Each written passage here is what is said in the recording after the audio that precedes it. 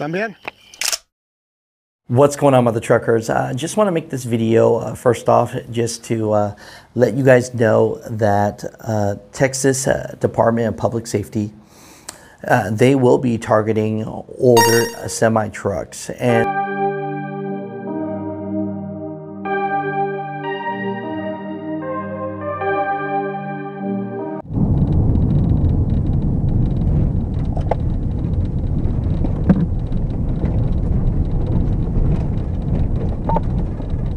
And the reason why is because, you know, they're watching over the borders and making sure that nobody is transporting anything that they shouldn't be or anyone they shouldn't be. And so, you know, they put it out there that they are targeting older semi trucks because they believe that, you know, the cartel, uh, they don't care.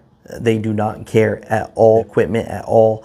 And so, you know, that's why uh, Texas uh, Department of Public Safety is going to be targeting them. So when you think to yourself, huh, you know, if I'm going through Texas and I'm going through, you know, the ports of entry and all that, and, you know, uh, they're probably targeting us because I have an older truck, that can be the case.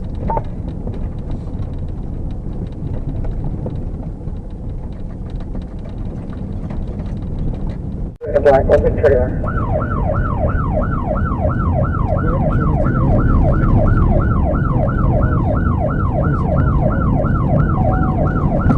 And so just know that. Uh, second to that, you know, the Texas uh, Department of Public Safety, uh, they put out this video right here just to show that uh, they're looking hard. You know, here's a situation that recently happened where a truck driver that was a gravel hauler, um, basically at first, uh, DPS wasn't looking and thinking anything of it until a person actually fell off of the trailer.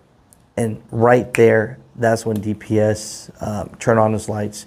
And you can see that the truck driver makes a right, uh, turns and stops, and then runs into some bushes.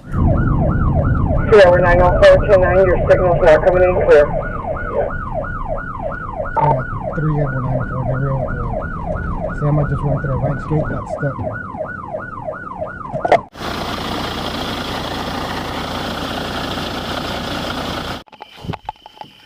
¿Están bien?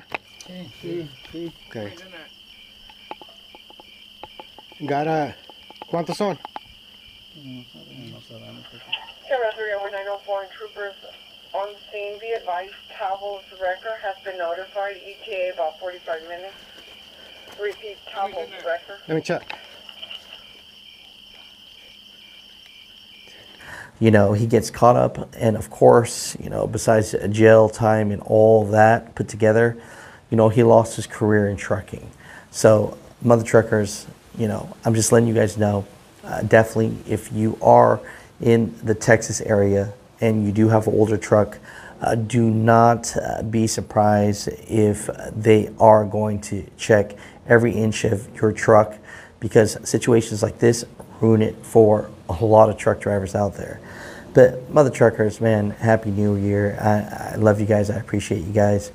Uh, this year was a lot. It was a big pill to swallow. Hopefully the rates they come back and I'll be updating you guys and letting you guys know. But yeah, you know, just know this is what's going on and be safe out there. Mother truckers, comment down below.